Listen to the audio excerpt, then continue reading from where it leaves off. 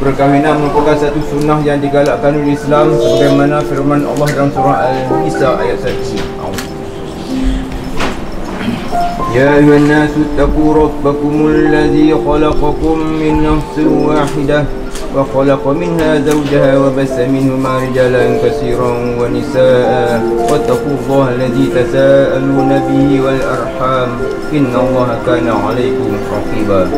Maksudnya Wahai sekalian manusia, bertakwalah kepada Tuhan kamu yang telah menjadikan kamu itu bermula dari diri yang satu iaitu Adam. Dan yang menjadikan daripada Adam itu pasangannya itu isterinya Hawa. Dan yang membiarkan keduanya surat keturunan lelaki dan perempuan yang ramai. Dan bertakwalah kepada Allah yang kamu selalu meminta-minta dengan menyebut menyebut namanya dan peliharalah hubungan silaturahim kaum kerabat. Kerana sesungguhnya Allah sentiasa memerhati ataupun Bingung nikahnya Aida Adrina binti Rusyaidi dengan mas kawin RM500 tunai.